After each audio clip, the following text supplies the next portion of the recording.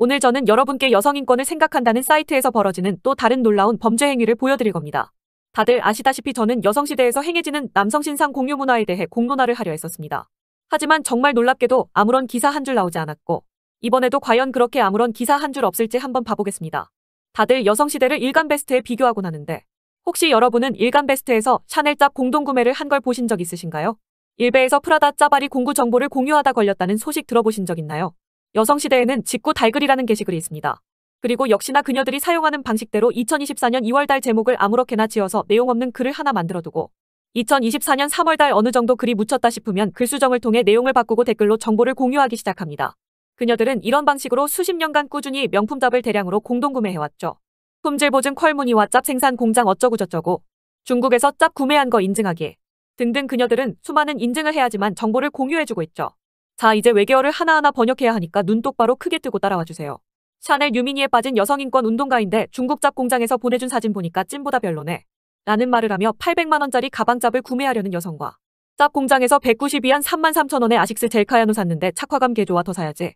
중국 seller한테 중국 채팅 어플로 chat하면 구매 링크 주고 사이즈 작게 나와서 seller가 추천해주는 거 사면 됨. 이라고 대놓고 짭을 공유하는 여성들의 행동이 보이시나요? 12만원짜리를 구매하기 싫어서 짭으로 구매한다고 말하는 우리 여성들. 샤넬 가브리엘 백팩 품질 보증용 받아봤는데 여기 맛집이네.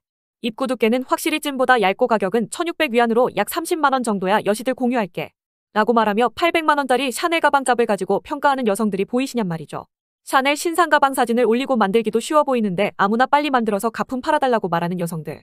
여러분은 이 인간들이 인간으로 보이십니까? 그 어떠한 죄책감도 없이 불법을 너무나도 뻔뻔하게 하는 그녀들이 보이시나요? 아무리 여자는 법위에 군림하는 보령인이라 하지만 그녀들은 이렇게 가품 정보 공유와 공구하는 행위를 여성시대 운영자가 인정한 문제없는 행위라 규정하고 있습니다. 정말로 여성시대 운영자는 이렇게 가품 공구를 하는 사람들을 문제없다고 인정하고 있을까요? 다음 카카오는 이 사항을 알면서 묵인하고 있는 겁니까? 삼성에서 만들어낸 기술을 중국 공산당이 훔쳐서 똑같이 만들어내면 입에 개거품을 물고 욕할 거면서 여성시대에서는 왜 똑같은 짓거리를 하고 있는데도 욕을 하지 않는 걸까요? 다시 말하지만 여러분은 일간 베스트에서 이렇게 대대적으로 가품 홍보, 가품 공장 연결 contact, 가품 구매 링크 공유, 가품 품질 공유를 조직적으로 한 걸 보신 적이 있냔 말이죠. 잘 찾아보면 분명 특정 카페나 블로그에서 저런 짓거리를 하고 있긴 할 겁니다. 하지만 이 커뮤니티의 운영자가 가품 공구 공유글을 인정했다는 저 사실에 여러분은 주목하셔야 하는 거죠. 여성시대는 전례 없을 정도로 더럽고 음습한 여성들의 쓰레기 같은 행위를 눈 감아주고 있다는 방증이나 다름없는 겁니다.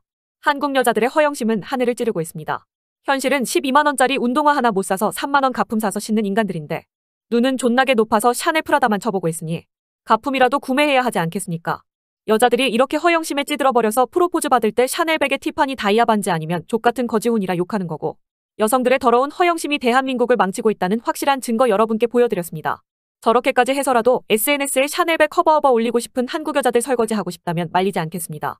한번 허영심에 찌든 여자는 다시 돌아오지 않습니다. 영상 여기서 마치도록 하죠. 마지막으로 이 영상의 저작권을 주장하지 않을 예정이니 맘껏 퍼가셔도 괜찮다는 말 남기도록 하겠습니다. 널리 널리 퍼가셔서 여성시대의 더러운 행동을 많은 사람들이 알았으면 좋겠네요.